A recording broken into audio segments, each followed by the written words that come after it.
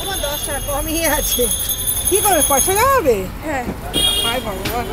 একটা নিয়ে নেব পয়সা জমা হবে যা পাবে হাতে মনে আর কি এখন যখন যেটা বাইরে রাখতেই হবে। কোনটা নেবে? ফালতু খরচা না করে হ্যাঁ?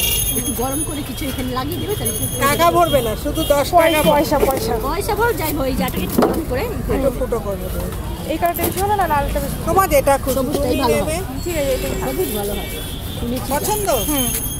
হ্যাঁ, জমলে পড়বে তখন তো বলবে ভালো করেছি। জমলে খুব আনন্দ হয় তখন ভাঙা হয়। হ্যাঁ যখন বাজার থেকে ফিরি, সঙ্গে সঙ্গে দেখবে। ও মা, কত। এখন অনেকদিন ধরে দেখছিল তো? ভালো দর্শন করে নিবা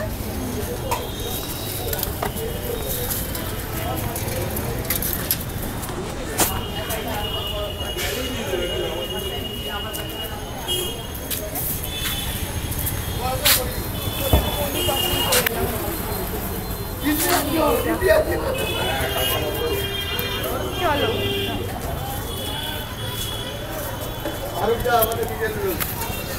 এটা তো কম দাম বলে নিয়েছি আমি জানতাম।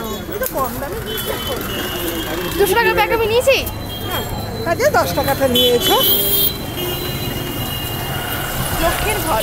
হ্যাঁ এখানে সত্যি গো। হ্যাঁ? দিদি দিদির সময় তুমি এখান থেকে জিনিস নিতে দেবে এখানকার দাম অনেক কম এই যে দশ দশ মালের দাম অনেক কম। সবজি নেবে সবজি?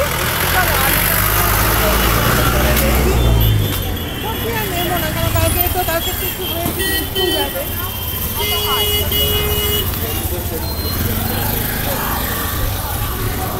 আলু দিয়ে নিই তো।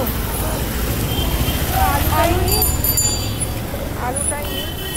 একবারে কত দেবো তিন কেজি নিয়ে নাও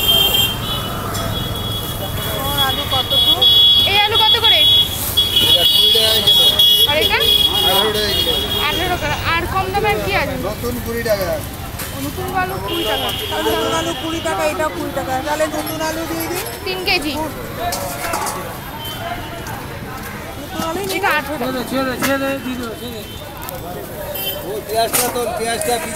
আর এই পেঁয়াজগুলো কত করে গো? ওখান থেকে এক কিলো পেঁয়াজ চল্লিশ টাকা।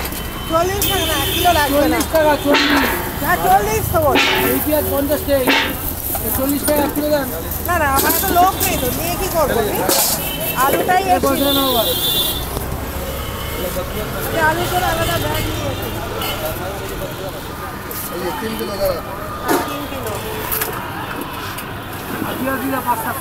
পাঁচশো। পেঁয়াজের দাম কম নিলাম চল্লিশ না না পাঁচশো পাঁচশো পাঁচশো পাঁচশো নেব আমি নেব না। পাঁচশো দিই হ্যাঁ, তিরিশ টাকা দাও বলছি পাঁচশো। সাড়ে সাতশো। আরে বাবা আলু পেঁয়াজ নষ্ট হয় না। রসুন কত করে? রসুন রসুন কত করে? রসুন একশো তিরিশ আদা একশো ষোলো।